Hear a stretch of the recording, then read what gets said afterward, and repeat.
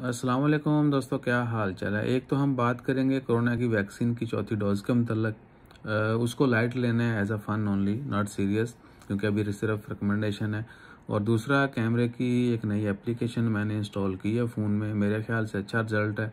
I hope के आप लोग भी, आप विल बी मेरा मतलब you will be appreciate it also so क्या है कि एप्लीकेशन बता देंगे अगर रिज़ल्ट वाकई आपने अप्रूव कर दिया।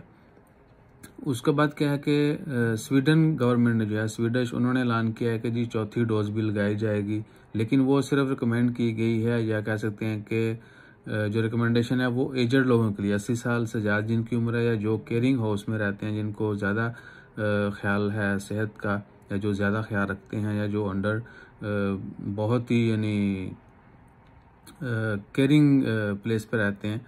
उन सब लोगों के लिए जो है रिकमेंड की जा रही है। ड्यू टू ओमिक्रॉन चौथी डोज का भी जो है वो ऐलान किया जा रहा है, लेकिन सिर्फ़ स्वीडन ने किया अभी तक, बाकी जगहों पे नहीं हुआ। और ओमान में भी अभी तीसरी डोज आप सबको पता है कि लाजमी नहीं की गई।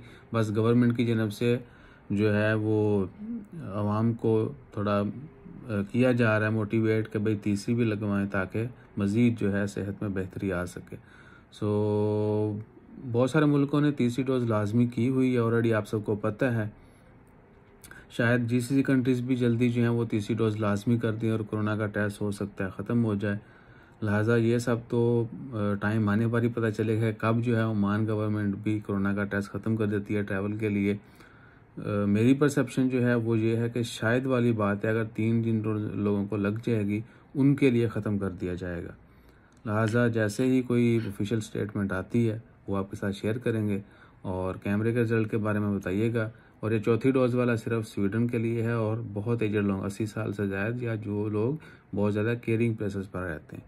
और those who are more curious about their health उनके लिए रिकमेंड किया जा रहा है। ओमान जीसीसी पाकिस्तान, ये वो बाकी जगहों पे नहीं। अपना ख्याल रखिएगा दुआ में याद रखिएगा। जजाकल्ला अल्लाह